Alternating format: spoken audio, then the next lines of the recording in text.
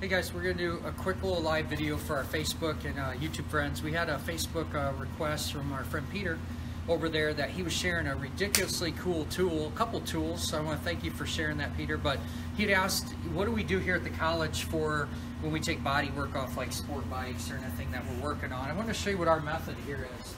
You can see we just put a bunch of hooks on the walls to hang everything. I love just taking uh, zip ties very cheap and easy to keep everything off. But we take it a step further. You can see, kind of get a view of all the hooks in the walls.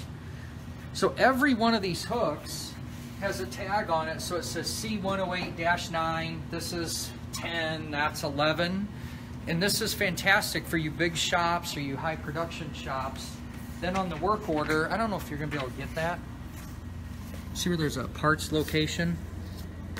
Oops. Yeah got parts location there. So that's where you'd put C108-10.